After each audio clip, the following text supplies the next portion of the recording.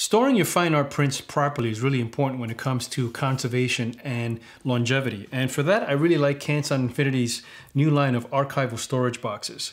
Uh, they're available in two sizes, an A4 size or 8.5 by 11 inches, and also an A3 plus size, which fits prints up to 13 by 19 inches in size.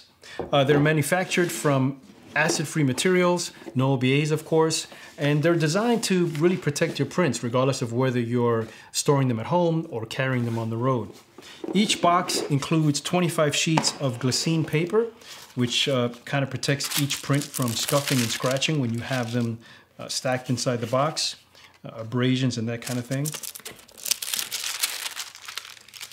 And there's also a handy white ribbon here which makes taking the prints out of the box uh, really easy.